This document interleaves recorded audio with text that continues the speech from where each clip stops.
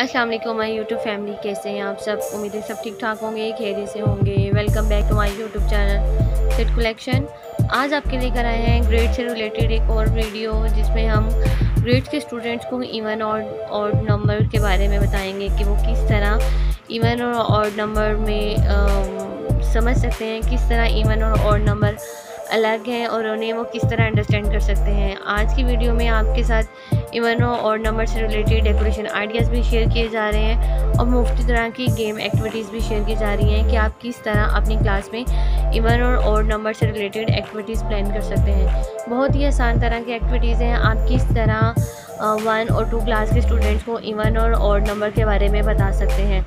अपनी क्लास में मुफ़्त तरह के चार्ट बनाकर आप उन्हें बता सकते हैं वर्कशीट की मदद से बता सकते हैं। डिफरेंट तरह के आप वर्कशीट बनाएँ जिसमें ऑड और इवन नंबर के बारे में स्टूडेंट्स को समझाया जाए या इस तरह की गेम्स प्लान किए हैं जिसमें हम इवन और ऑर्ड नंबर के बारे में ज़्यादा से ज़्यादा डिस्कस करें, ज़्यादा से ज़्यादा इनके बारे में बोलें या कोई ऐसे नंबर्स हों जो कि स्टूडेंट्स ईज़िली समझ जाएँ।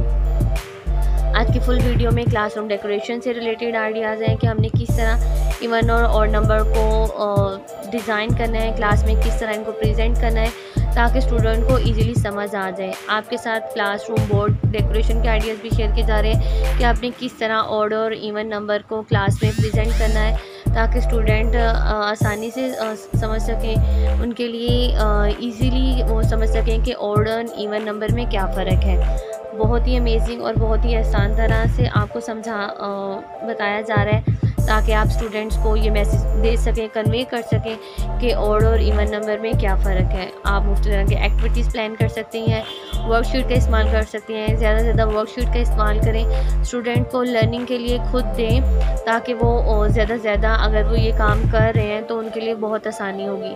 क्लासरूम में आप बोर्ड के ऊपर भी स्टूडेंट्स को इवन और ऑड नंबर की प्रैक्टिस करवा सकते हैं।